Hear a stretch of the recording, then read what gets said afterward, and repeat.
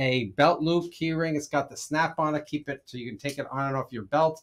It's also a claw, claw clip here. So you can put your open up the claw clip, put your keyring on there, and you can keep it on your belt for a long time. And sometimes it's easier to do it this way with the claw clip, or sometimes undo it with the snap to get to get your keys off it. So it's a great little accessory to keep. You can actually wrap it around your handlebars uh, uh, somewhere on your bike. You can also wrap it around your uh, purse strap. So it is a great little item. We have this in a couple different colors, brown and I think natural as well.